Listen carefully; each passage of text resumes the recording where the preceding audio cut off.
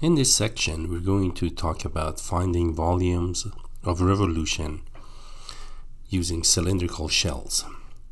Now, this method using cylindrical shells is going to be an alternative to the washers method. So let's take a look and see how this is going to work out. Now, before we actually look at these solids of revolutions, let's talk about how we find the volume of a cylindrical shells. Now we know the volume of a right circular cylinder is going to be pi r squared h, right? That we know that from geometry. So a cylindrical shell is simply like a right circular cylinder, a solid of right circular cylinder, and then you bore a hole inside of that shell. So as a result, we get uh, what seems like to be a tube, actually, of thickness uh, delta r. Okay, so that's going to be the thickness. So how are we going to find this uh, volume of this tube? Well, if you think about a solid cylindrical solid of radius r2, and then from inside of that we take out a solid cylindrical cylinder of radius r1 out from it. So in other words, we are removing this piece out of it. Then we have what's uh, the tube of again thickness delta r. Therefore, the volume is going to be the difference between the two volumes. So each of those, remember, themselves are treated as right circular cylinders. So is pi r squared sub or r sub sub 2 squared minus pi r sub 1 squared. And those two, uh, we can work the algebra of it, and it's going to give us the formula that you're uh, observing in this case. And, uh, and there we have it. So uh, how do this become what you see below it, the formula that is below? Well, first of all, uh, if you note up here, we have difference of two squares, r sub 2 squared minus r sub 1 squared. And those can be factored into a product of two conjugate binomials. And then what in the next step, what happens is you can multiply uh, by 2 the expression, the entire expression, you multiply by 2 and you divide by 2. So that's what happens here. Notice these 2's can cross out and give you exactly what's above. It's just when you divide by 2, you divide the right expression by 2. And then r1, r sub 1 plus r sub 2 uh, divided by 2, this is how you find the average of two numbers. So that's going to be the average radius. That would be the distance from the center to the middle, if you will, the middle of that tube, the of uh, the tube of thickness delta r. So that's what I mean to the middle of it's to the middle of the, rad, the radius. The distance from center to to that thick portion uh, of cylinder. And that's why you see here we have expression that the volume of a cylindrical shell therefore is 2 pi average radius times height times thickness. Now remember height is of course is going to be the, the altitude or height of the cylinder. And the thickness we mentioned all along, the thickness is delta R. So we can actually now come up with uh, the formula that you see, formula 2 in this segment, using method of cylindrical shells, where a region is revolved about the y-axis in this case. Now, uh, right up here in this figure, part A, you're looking at the region. So this is the region R that's being revolved about the y-axis. And to the right is the resulting solid. And notice inside, actually this is hollow again. Inside of that solid, there's nothing because of this space that you see here. So that space is right here. And then rotation gives you another empty space here, and that's over here. Okay, and of course, uh, in part B, we are looking at 3D. So that hollow, actually inside this, this hollow region, this is a hollow cylindrical uh, solid okay and uh, so that's that's how you can do this. Note that this same same volume could have been obtained using washers. If you use washers to wrap these around, uh, we could get the same solid using horizontal washers. Okay, so again, cylindrical shells are alternatives to washers, and sometimes they work out better. Some regions, and we'll see example, sometimes it requires two separate type of regions. They require two different two different parameterization of the of the equation for the washers. You got in other words, you got to use different sets of washers, if you will as opposed to one cylindrical shell of, let's say, thickness delta R. Now, um, here again, uh, you're looking at uh, how this solid is evolved using method of cylindrical shells. Okay, so a typical uh, cylinder of thickness uh, delta we're now we're going to use delta x again remember here delta x is going to be the same as delta r that's up here so, okay this delta r that we look at the cylindrical shell uh, this will become delta x for us. Once we move this cylinder uh, once we move it with the base on the x-axis. So we use delta x. So a typical cylindrical uh, shell cross section is that. This thing wraps around and as it wraps around this is like a profile like half the shell. That's like a 180 degree rotation right here that's what it's gonna look like and the, the entire rotation revolution is what's gonna give you this uh, tubical solid and the volume, this is the volume of the kth uh, cylindrical shell. See subscript k. This is the kth cylindrical shell. And as before, if you uh, sum these up, that means you have several of these shells. Then uh, uh the sum of those from 1 to n give you an approximation for the volume. Notice the volume is approximately equal still. So you have that approximation. The volume is approximately equal to a finite number of uh, volumes of cylindrical shells. And then what makes it exactly equal to volume, and by exact here we mean within epsilon of the true volume, is when you take the limit of the Riemann sum. So we're back to that very important concept of uh, Riemann sums that we've used for several purposes and they will continue to be used throughout your sec the second semester calculus or even in first semester calculus where we use applications of uh, work, fluid pressures, and so on. And so we're going to see more application of uh, Riemann sums uh, in the next section where we talk about arc lengths and areas of surfaces of revolution. The surface is what's on the outside. Right now, we're concerned with the amount of space. That's what volume is the amount of space enclosed uh, by a bounded region or, uh, or a closed surface. Um, now, uh, one thing that that's important here is that the rectangles must be parallel to the axis of rotation. So notice here, for example, rotation is about the y-axis, and these rectangles, which ultimately will form a cylindrical shell, they go parallel to the axis of rotation.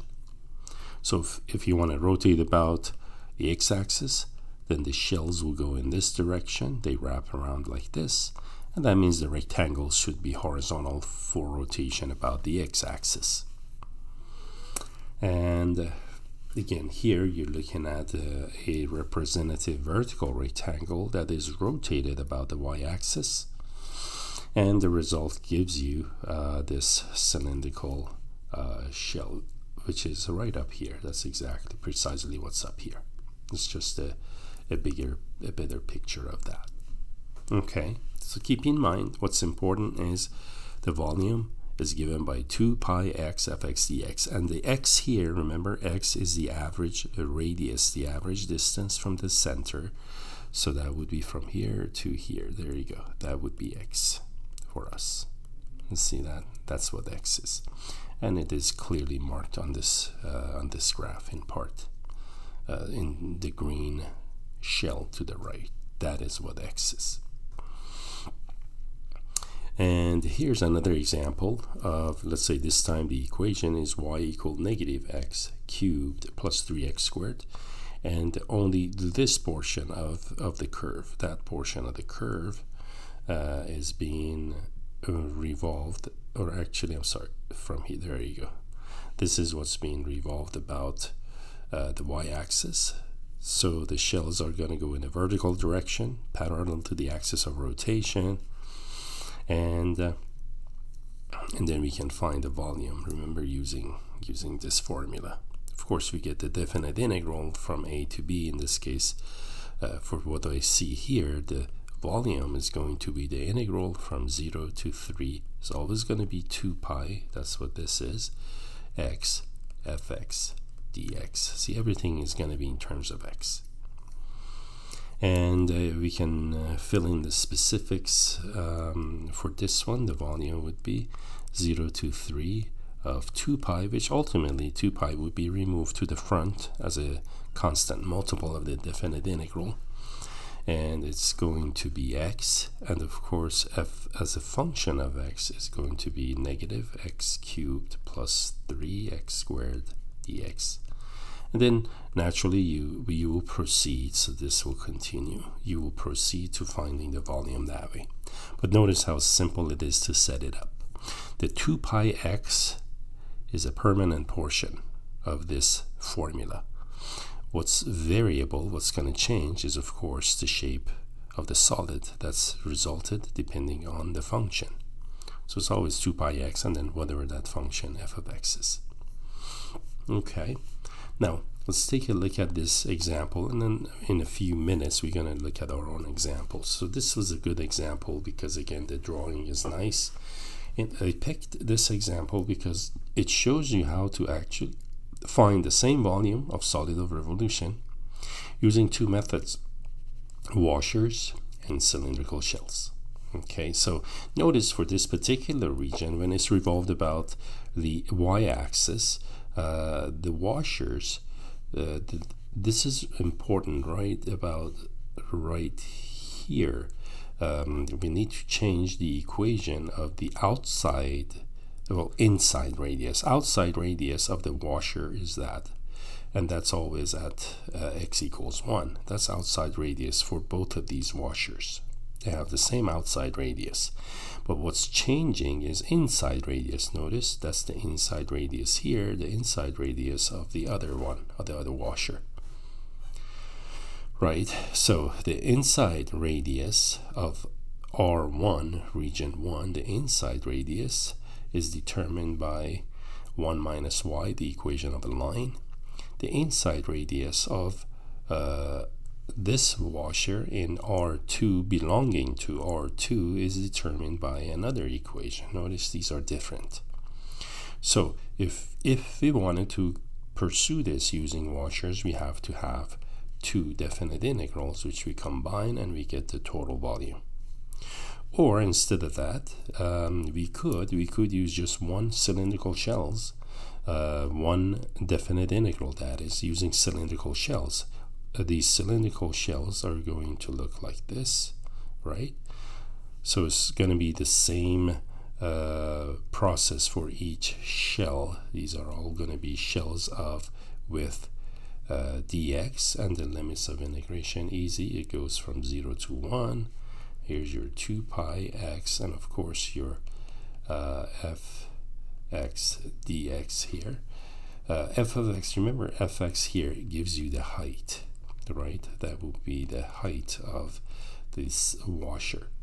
And in this case, the height uh, of each shell is determined by these two equations. So you get the upper minus the lower equation to find the height.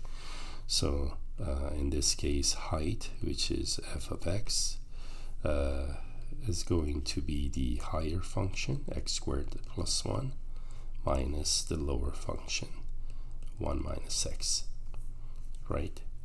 Uh, and that's going to be the height. And this will amount to x squared plus x the ones cross out there. That's going to be the height of a typical cylindrical shell. Therefore the volume of this solid is going to be 2 pi. Limits of integration go from uh, 0 to 1 from here to here right? For dx you go horizontal axis x 2 pi x. Remember that's always fixed portion of our formula. And this is the effective f of x we're going to use. It's going to be x squared plus x and then dx. You see that? And there you have it. Now um, again uh, so hopefully everybody can follow this. It's an interesting again alternative uh, to washers. And it's good that we can do this two different ways. And sometimes also it depends on the form the function and the integrand it may be easier sometimes to do use uh, using cylindrical shells. Ultimately what matters is that can I integrate can I integrate that integrand that's what really the deciding factor is I may be able to set this one up using cylindrical shells but then I may not be able to integrate the integrand in this case I could but not always that's the case Whereas here, if I set it up using two definite integrals, it may be more work, but that may be the only choice I have because the way the integrand is presented. Okay. Now, just something very important here to kind of sort this out for you. Uh, hopefully this will help everyone again. When we use method of washers, keep in mind that the rectangles are perpendicular to the axis of revolution of the solid and for cylindrical shells, these rectangles will be parallel to the axis of revolution. So that, that's very important to note.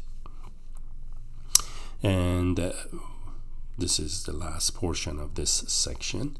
Um, what if these um, shells go in a um, what do you call it about the x-axis what if the shells are of thickness dy that's the case where rotation is done about the x-axis. Well, the same process uh, exists. The distance here now, that would be y, which is the average uh, radius to a typical cylindrical uh, shell, right? So it's kind of 2 pi is again, remember that's portion for finding the volume of um, the tube cylindrical shell. So this time we have 2 pi y and instead of f of x now we have to adjust because our variable, notice everything has to be in terms of y now. So our equation is stated as x equal f of y. So this time um, we have to make sure the equation is in terms of y. But the same process, it's the same thing and then you get the solid. So how do I know again when to use cylindrical shells or washers? Remember I mentioned that in another uh, in another section for washers.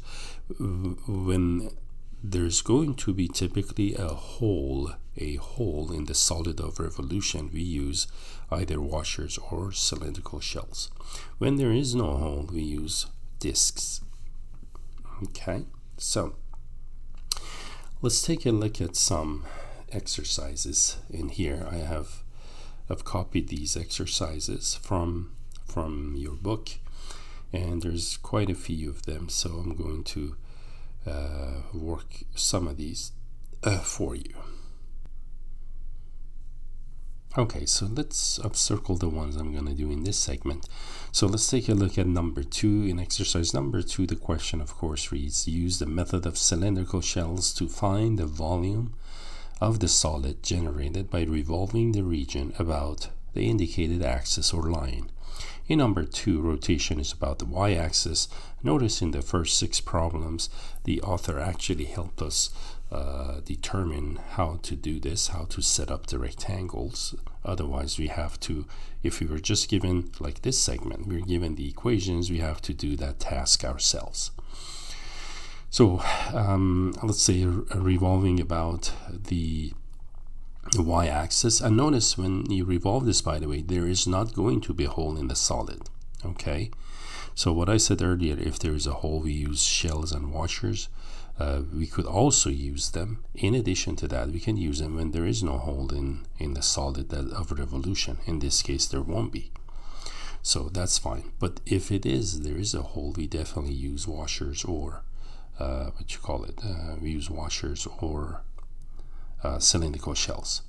In this case, we could also use disks to generate the same solid, or disks using disk method, we're going to use horizontal rectangle to achieve the same solid, which in this case, if you revolve that quarter of a circle, because that's the equation of a circle, um, the quarter of a circle, you revolve it about the y-axis, we're going to get a hemisphere, right? We're going to get a half sphere, a hemisphere. Well, if I revolve this uh, horizontal rectangle about the y-axis, I'll get the exact same region. So for this one, indeed, we're going to get uh, the, the answer is going to be, we'll see, it's whatever the volume of, uh, of a hemisphere is with, uh, with radius 2. Okay, so in exercise number 2, therefore, for exercise number 2, the volume is going to be the integral. I'm just going to write the general form 2 pi x fx dx for reference. That was our formula. So the volume is going to be 2 pi. Limits of integration goes from 0 to 2, right? These rectangles can vary from 0 to 2 along the x-axis. And of course, it's going to be x, which is a permanent fixture in our formula. Our f of x is going to be 4 minus x squared to 1 half. That's what the square root of that expression means. And then the x. You see that? And at this point, how are we gonna do this? Well, we can use a method of substitution for this one, right? So let's do substitution method. I'm gonna let u be 4 minus x squared.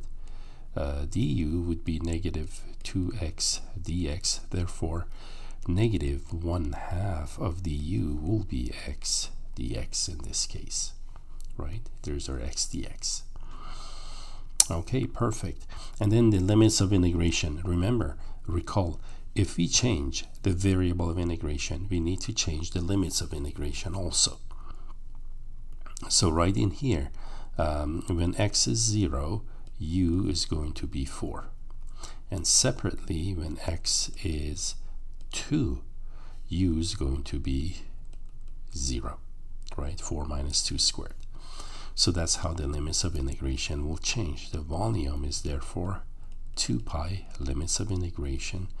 Uh, instead of from 0, they're going to run from 4. And instead of 2 for x, u is going to be 0. It's going to be go from 4 to 0 of uh, x dx, that's negative 1 half uh, du. And of course the 4 minus x squared is u so that's just u to a half. There. Notice the integrand is much easier to work with. So the volume is going to be I'm going to cross out the 2's here it's going to be pi notice how limits of integration are in improper order we use we always go from lower to higher so I'm going to swap those out put 4 above, 0 below, and to offset, remember that's going to cause a negative, right? That's going to make uh, the integral negative, changes the sign on the integral. If it's positive, it will be negative. If it's negative, it will be positive. And of course, there is a negative of u to a half du. And uh, the double negative makes positive. So all said and done. That's pi 0 to 4 of u to a half du. And that integral is going to be u to a half uh, integral of that is going to be half plus 1 3 halves. So it's 2 thirds u to 3 halves from 0 to 4 and uh, again let me put 2 thirds as a constant times pi. And mm, uh, fundamental theorem of calculus, the upper limit is 4 to 3 halves minus 0 to 3 halves. Of course, 0 to any power is 0. And 4 to 3 halves, that would be square root of 4, right? The half gives you square root of 4, which is 2. Cube gives you 8.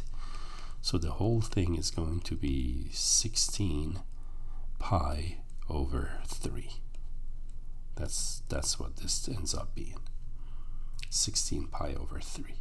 That's the final answer. And remember the unit on volume is always the units, whatever they are, cube units. I usually don't write it. I mention it, but then I just uh, suppose we know that for every exercise the volume would be cubic units. So if it's so if the um, things are measured in inches, it would be cubic inches, feet, cubic feet, meters, centimeters, uh, whatever. It will be cube of that unit. And there we have it, exercise number two. Now let's take a look at exercise uh, number six.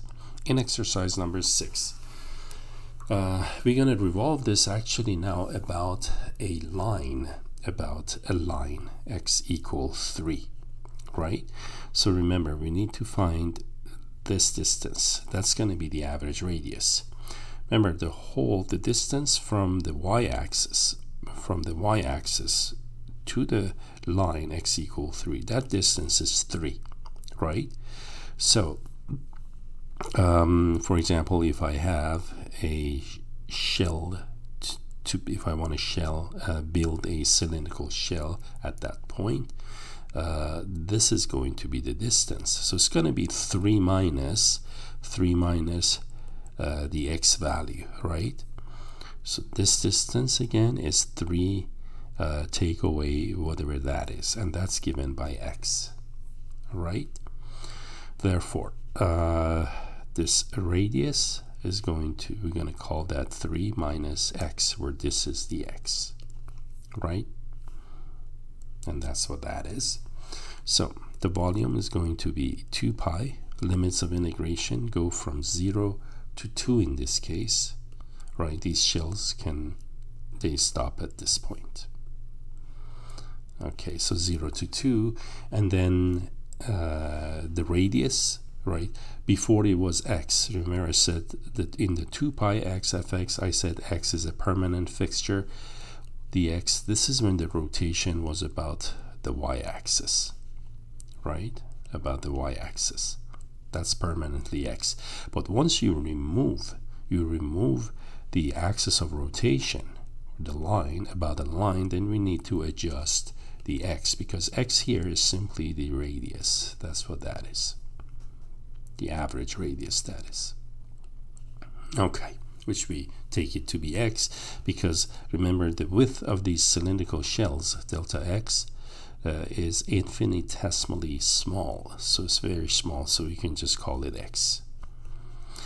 Okay, and that would be 0 to 2 of 3 minus x right? Again, that would be the average radius times, now again, for this one, the height, the higher function minus the lower function, that'll give you the height, uh, which is going to be the upper function, 1 half x squared plus 2 minus the lower x squared, that gives you, so this is the height, this is the average radius, and the 2 pi was part of the derivation of that volume of a tube or cylindrical shell dx now let's carry on with this one so that was the setup of this integral um, now let's um, multiply this out so there's 3 minus x times um, it's going to be half x squared and negative x squared. That's going to be negative 1 half x squared plus 2 and then the x there. And we can FOIL this thing out and combine like terms 0 to 2. Um, let's see. The highest degree term, let me do that one first, is going to be positive 1 half x cubed. I'm trying to put these in descending powers of x.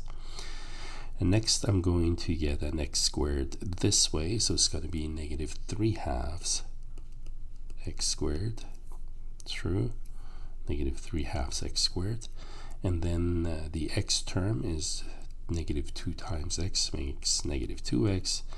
and 3 times 2 plus 6 there and dx so if I did this correct I did my FOIL correct that's what this would be okay so that's going to be 2 pi and now we can actually proceed with the in integration right and the integral of half x cubed that's going to be x to the fourth over 4 so it's going to make it 1 eighth x to the fourth negative uh, x squared, the integral of that would be x cubed over 3, which makes it a half x cubed. The 3 that's in front in the fraction of 3 halves in the numerator, the fraction crosses out with the resulting cubed from the integration. Negative 2x squared over 2, so that's just going to be negative x squared. The 2's cross out again, plus 6x, evaluated from 0 to 2. The lower limit, because you have a polynomial in x and lower limit is 0, so we just don't have to substitute that. So all we do is just plug in the upper limit. That's going to be 2 pi times um, 1 eighth, uh, 2 to the fourth is 16, right? 1 eighth of uh, that's 16 minus 1 half, 2 cubed is 8 negative 2 squared is 4 plus 6 times 2 is 12 okay. Uh, so this would be 2 pi 16 eighths that's 2 minus 4 minus 4 plus 12 it's going to be 6 6 times 2 looks like that'll be 12 pi the whole thing 12 pi and uh, there you have it number six. All right, and that's that's that. Okay, so let's take a look at now uh, exercise number 10.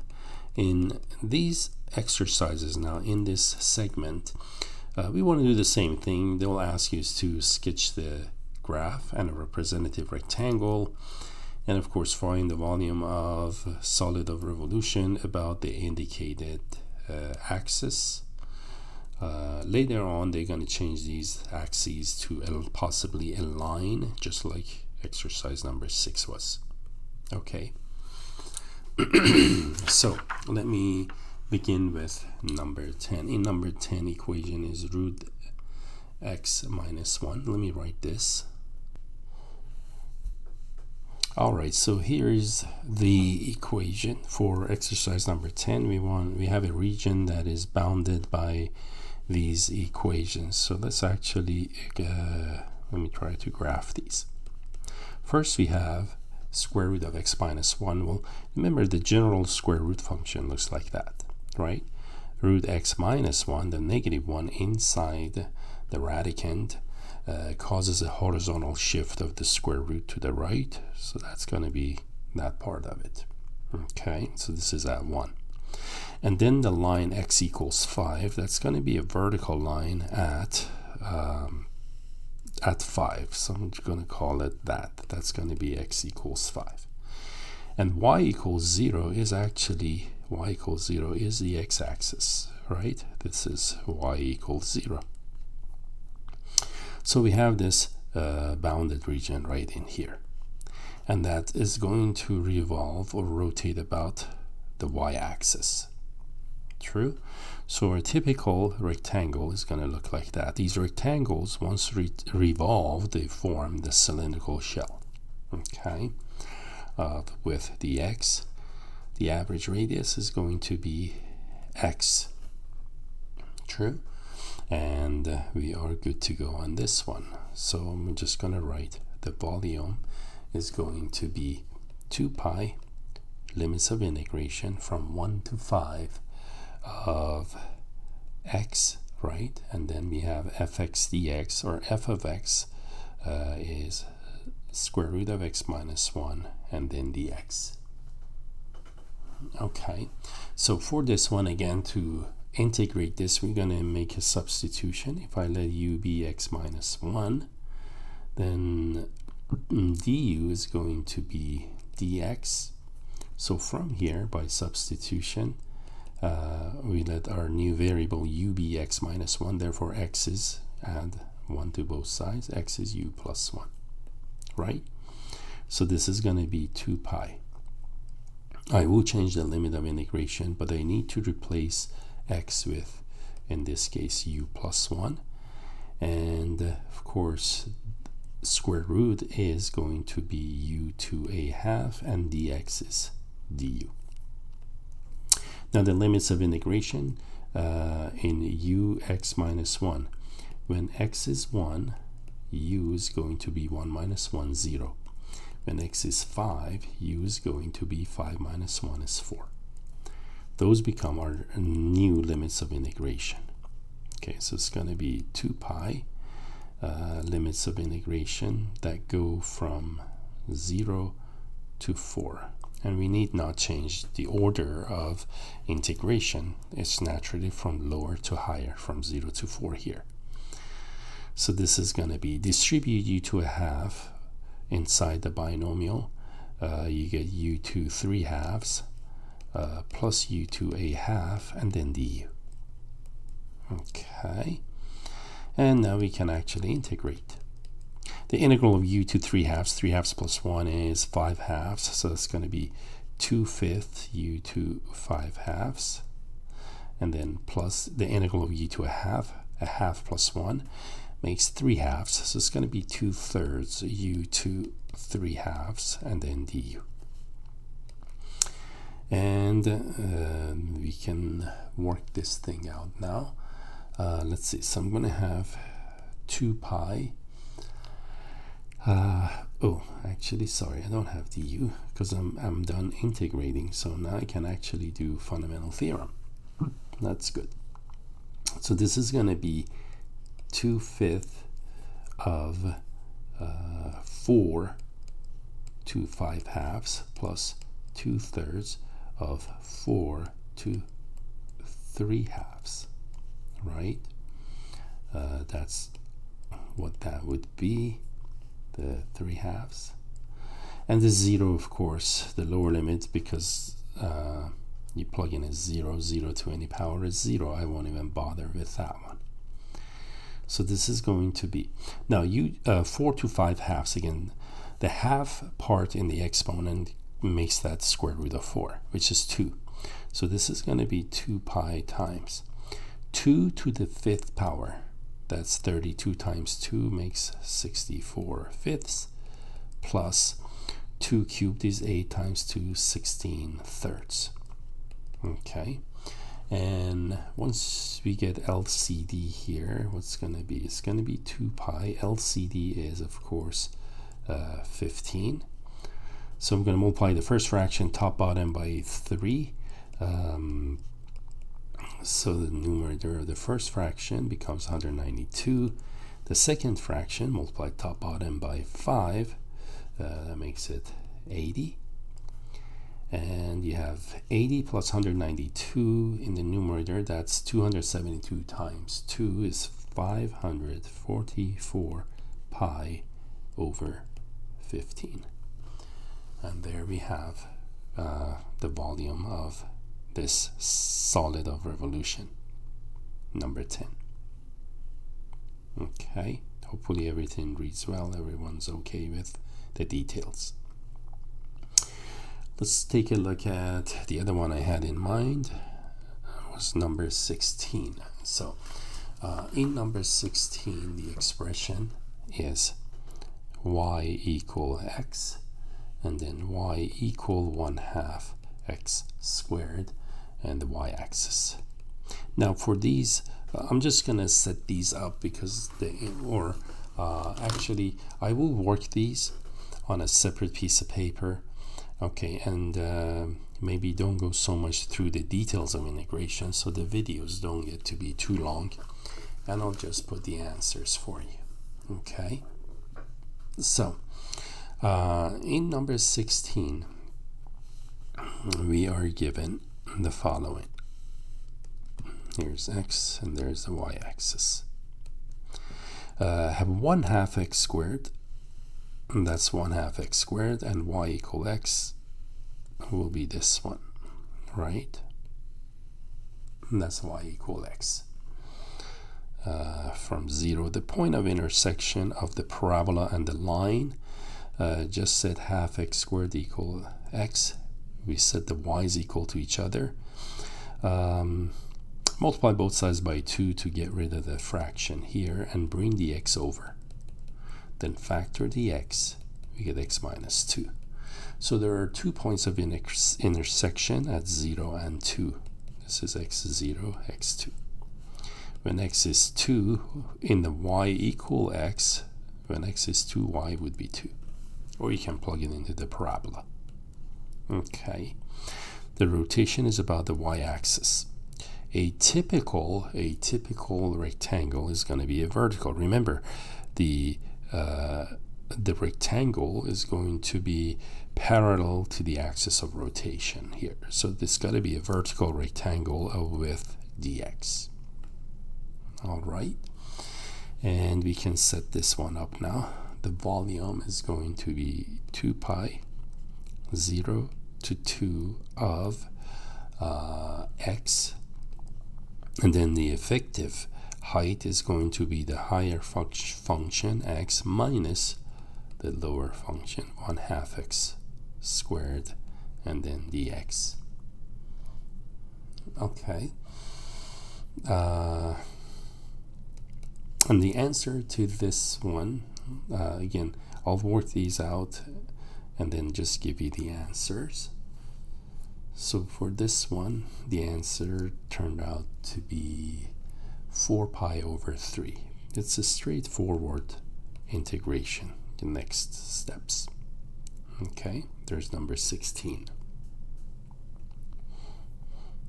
uh, number 20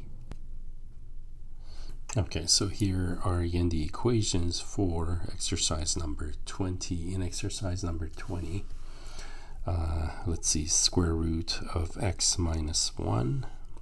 We've graphed that one earlier, right? So we know what that graph is. That's going to look like this. And then y equals x minus 1. Here is you're going to have a line that uh, has a y-intercept at negative 1 and slope is 1 indeed so there you go it's gonna look like that that line uh, because rotation is about the y-axis we're gonna go vertical rectangles parallel to the axis of rotation of with dx. The point of intersection again once we set these two equations equal to each other root x minus 1 square both sides we get uh, x squared negative 2x plus 1 bring the x bring the 1 over set it equal to 0 so we get x squared negative 3x plus 2 equals 0 and that's x minus 2 times x minus 1 equals 0 so we get x equals 2 and 1 so here's one point of intersection the other one is here. And this isn't drawn to scale of course. Uh, and that the distance from here to here is one unit and there to there is one unit? I think not.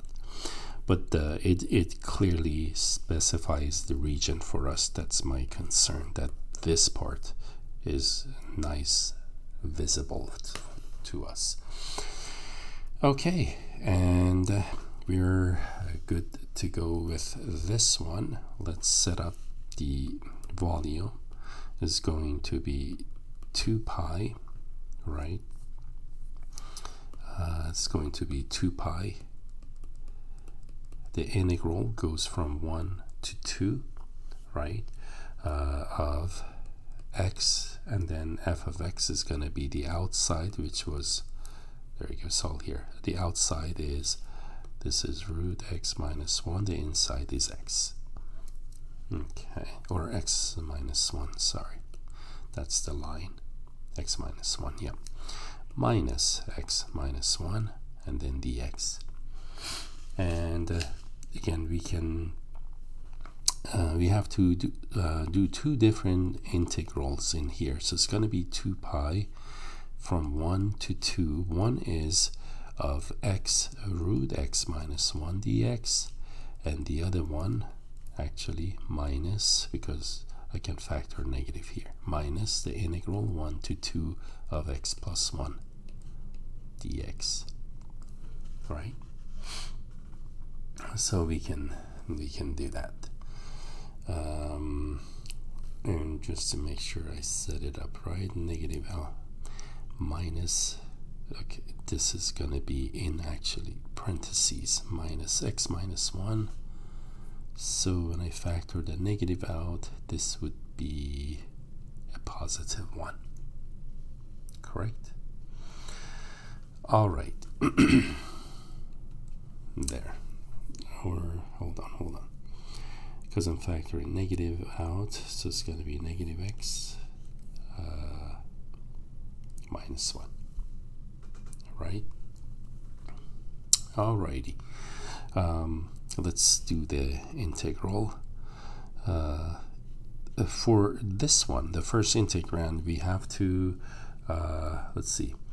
For that one we can use the u substitution.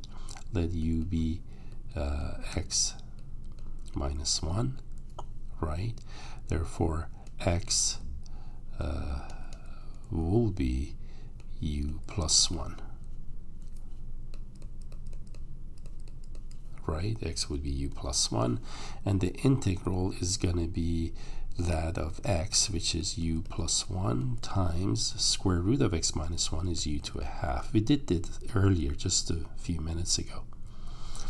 And of course the limits of integration is going to change. When x is 1 u would be 0 when x is 2 u would be 1 and that's how you work this one this other one is straightforward. Okay, so again, once um, once you work all of these, remember, I'm just gonna put the answer, and then you can of course go through and see if you can verify the answers. Uh, this is gonna end up being uh, 7 pi over 15 is what I got. Okay and there's number 20 now let's do one actually where the rotation is about the uh, x-axis. I haven't done that. So uh, for that I'm going to do exercise number uh, 14 okay in exercise number 14 this time it's a simple equation y equals 3x and the other one is line y equals 6 uh, x equals 0 and we're going about the x-axis. Just want to do one of those. So in number 14 um, the region is going to look like so.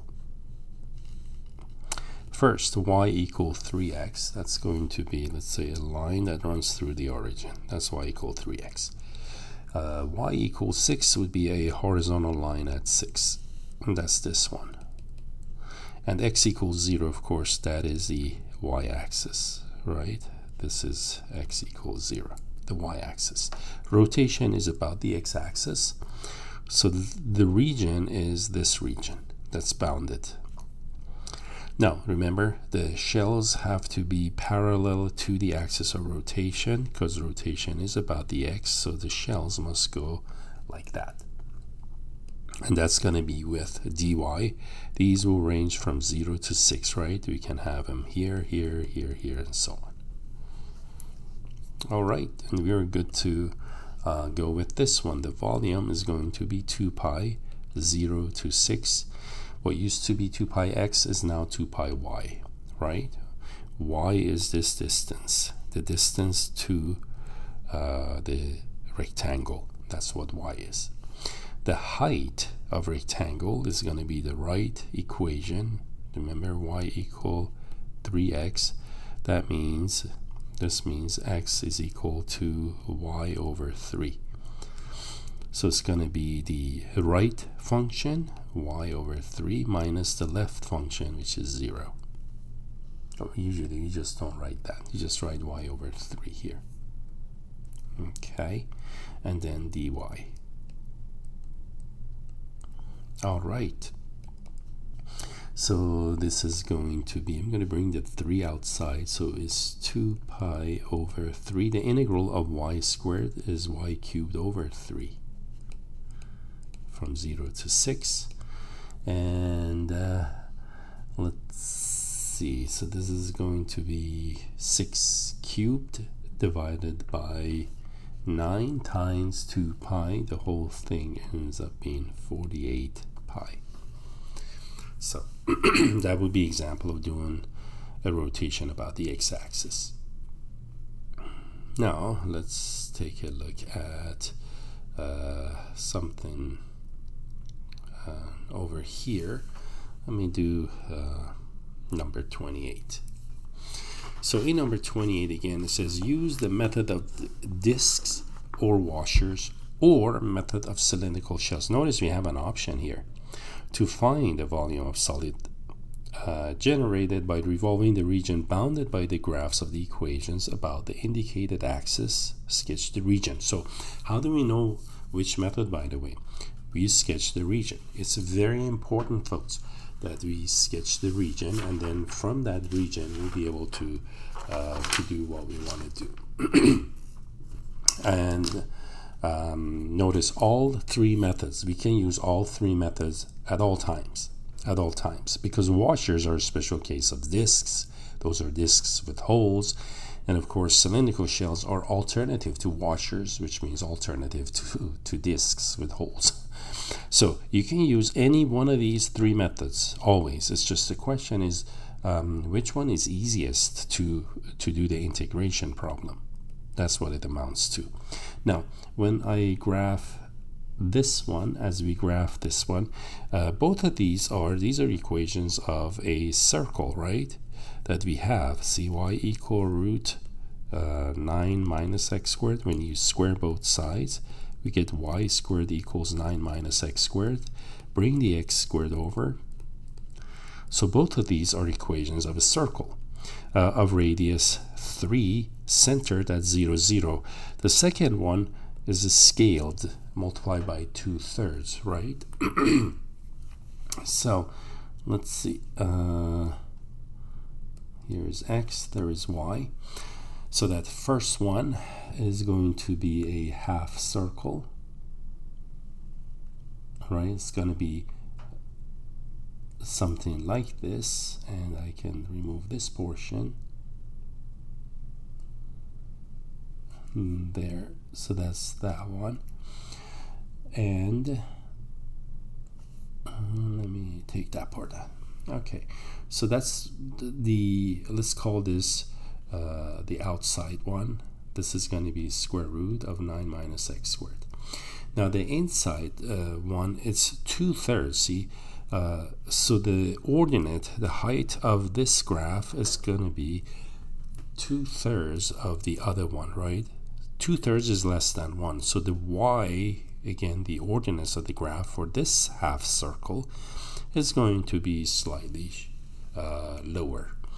Uh, and for this one, let me graph this other one. So it's to look like this. All right. And uh, of course, we can do better graphs of these uh, using a graphing utility. True. So let me see if I, yeah, that, that's good. Let me stay with this. There. That's reasonable reflection of what this is. Radius 3, and that's 3 also. All right. And uh, remember, these regions are supposed to be symmetric.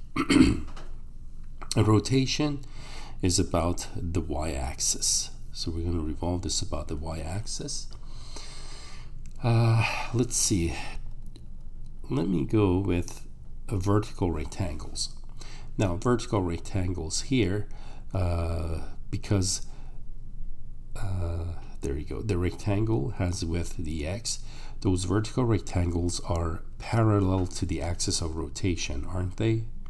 Uh, they're parallel to the axis of rotation. Therefore, that means a recipe for what um, cylindrical shells. So that's what we're gonna do. We're gonna use cylindrical shells for this. And let me uh, write this. So we can set up, uh, let's see, we got the points of intersections. Perfect, we're good. So I'm just gonna write the volume is. It's going to be 2 pi. Now we're gonna use symmetry. Okay, and uh, oh, got to be careful here also because if we go from negative 3 to 3 looks like because see from 0 to 3 once you revolve this we're going to create a solid. Negative to 3 to 3 will traverse or go over this solid twice right? So we go 0 to 3 in other words we don't need this portion of the graph when we revolve this right? So you got to be careful with this folks.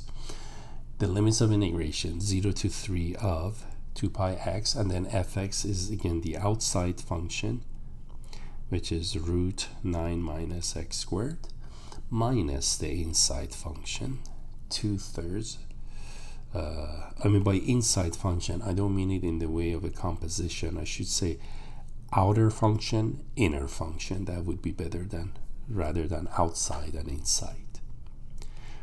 But uh, however you call it, this is going to be 2 pi.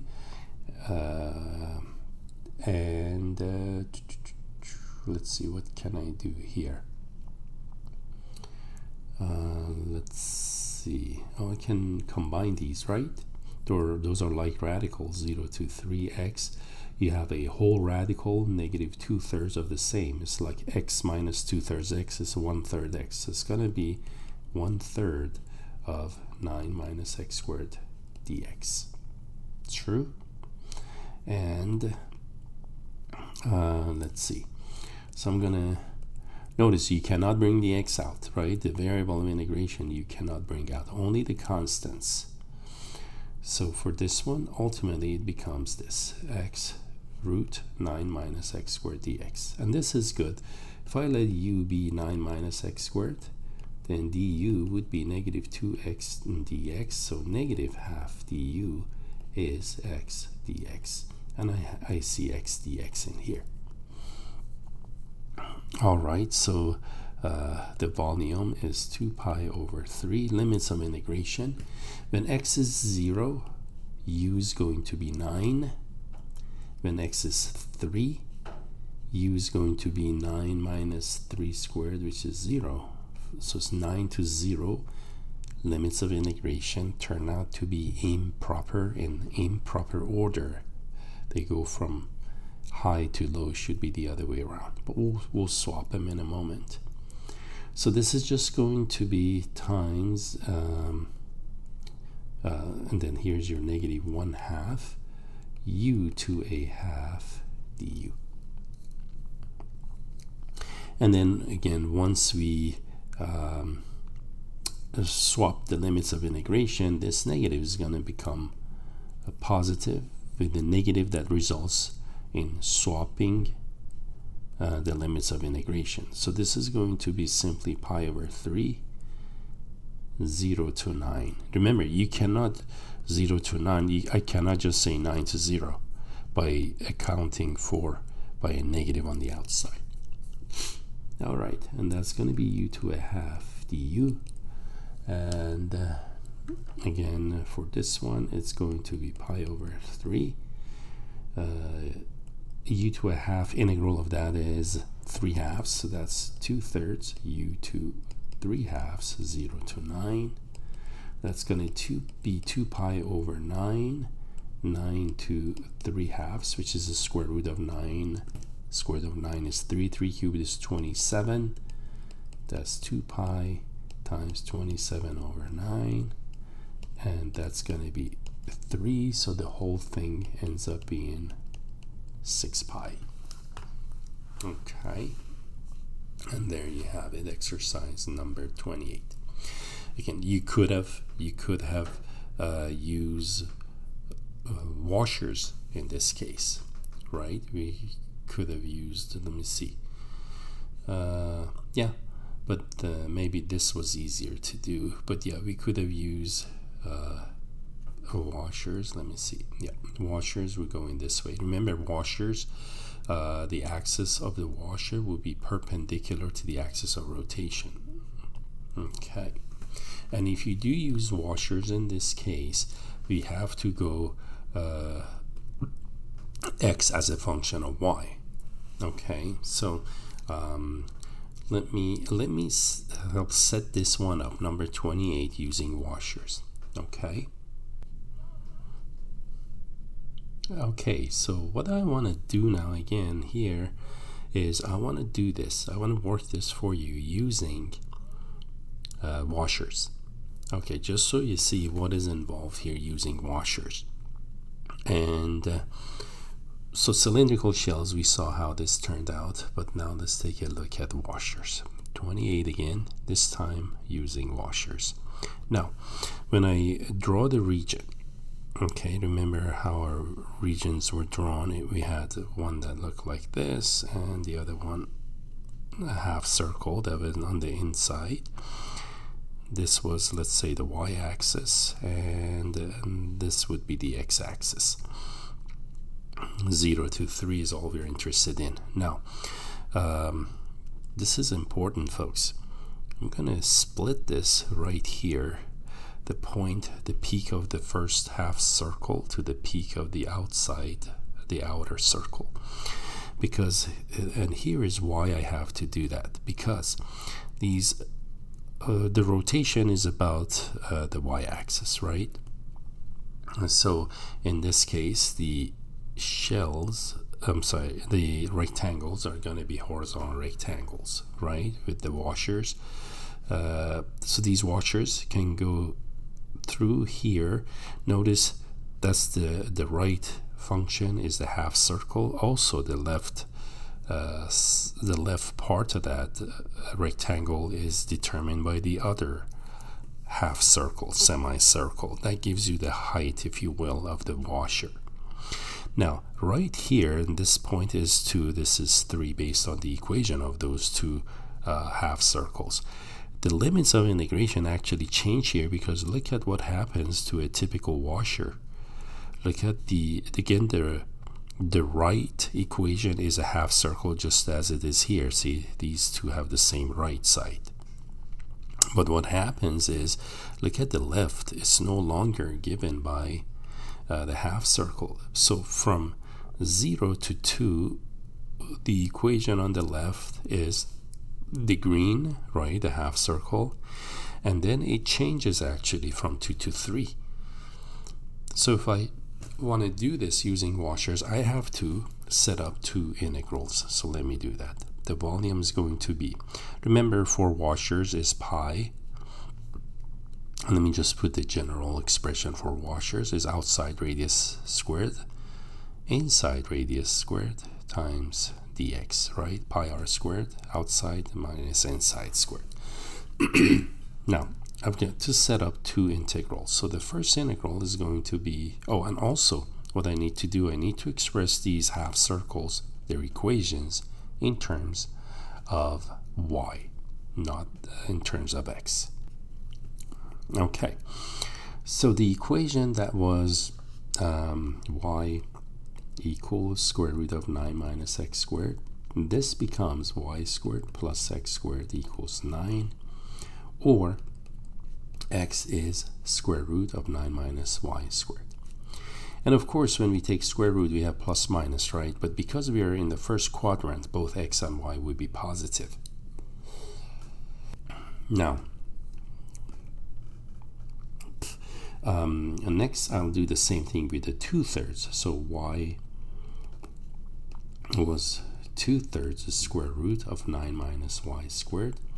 If you work this one out, it ends up being the following I got it to be see what I get it to be for this x turns out to be square root of 9 minus 9 fourth y squared okay now I can set up my integral and let's see what it's going to look like so it's going to be pi for the first integral the limits of integration go from 0 to 2. Okay, oh, and by the way, how did I get the 2 and 3 here is simple. We look at the equation of these half circles. The lower one was um, this one, right? Uh, sorry, this this is how I got the 2. You simply, oh, and I made a mistake here, this 9 minus x squared. You put 0 in for x in here, you get the square root of 9, which is 3 times 2 thirds gives you 2. That's how I got the 2. so 0 to 2 of the right the right equation is the square root of 9 minus y squared squared that's outside radius squared minus inside radius squared that's going to be square root of 9 minus 9 fourths y squared squared dy true and then we need to add to this plus uh, the integral from 2 to 3. The inside equation is 9 minus y squared squared. That's uh, that gives you the outside radius, right? Sorry, the outside radius. Squared minus the inside radius is given by uh, from 2 to 3 the inside is uh, 0 squared there.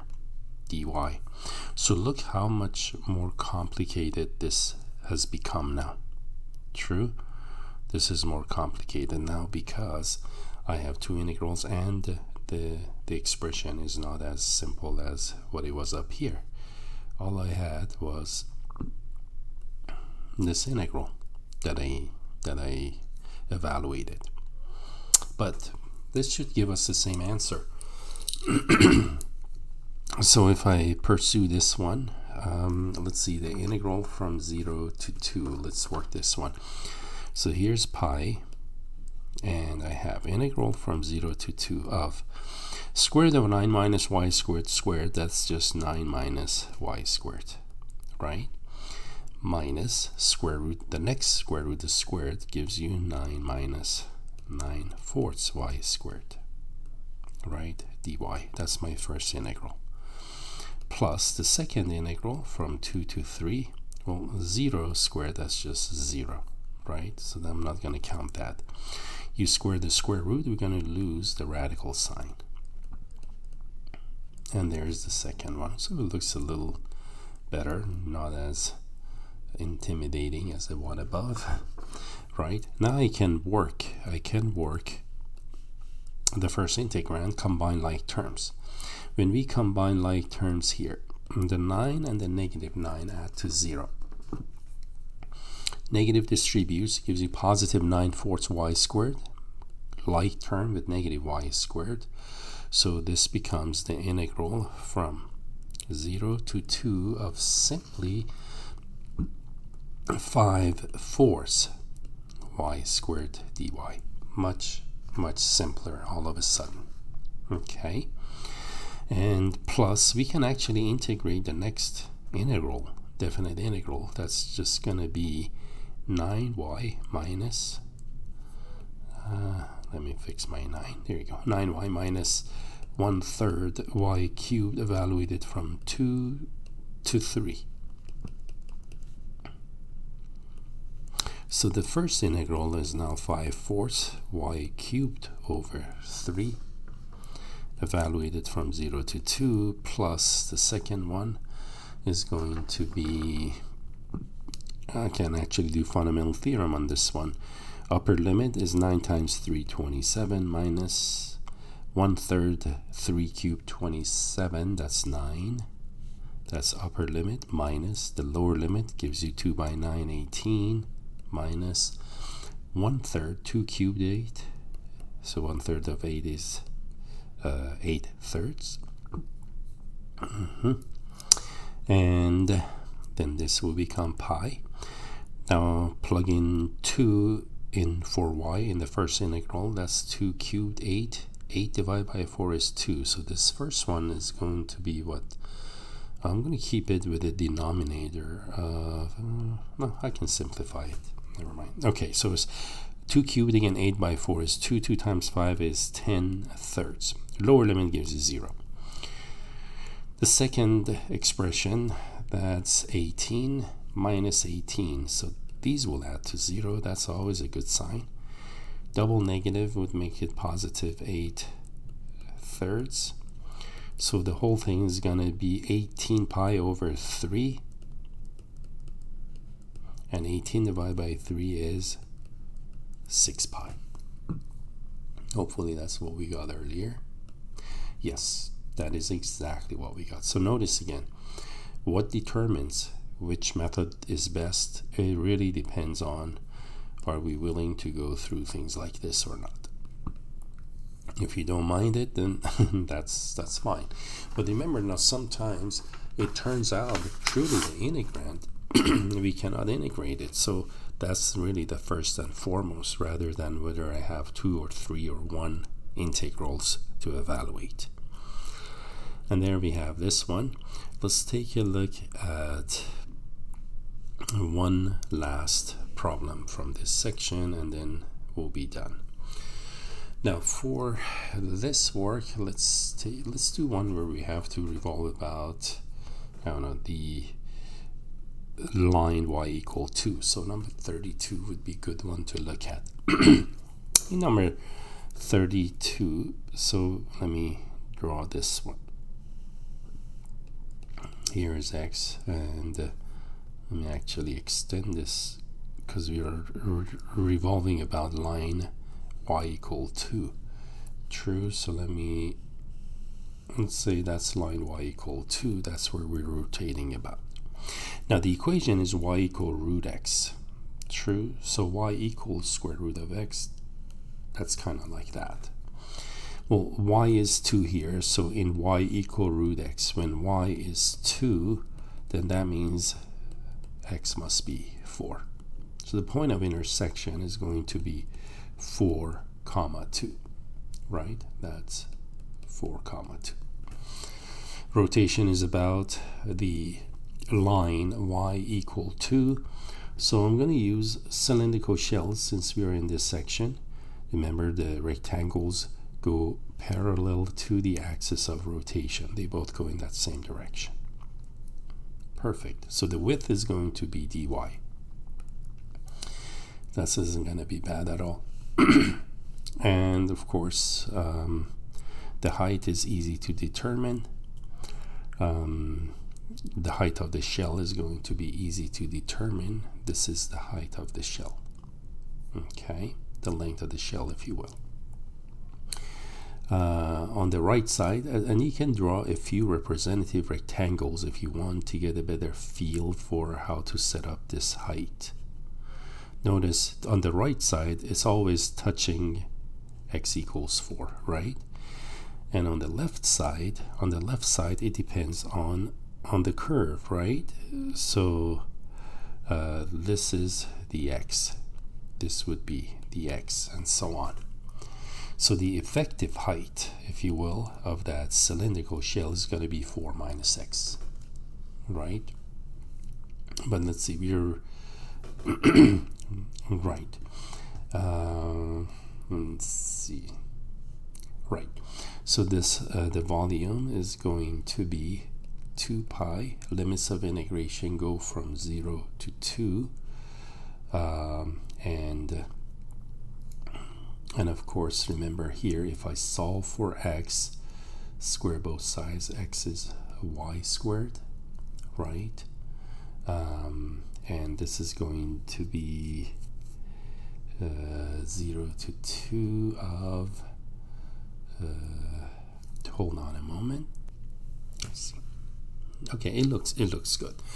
So uh, again we can figure out the height no problem now. So it's going to be 2 pi and this is the height the height is going to be 4 minus y squared right and then dy um, that's 4 minus x actually but then x is y squared right now the average radius let's say the distance right in here. This is the distance.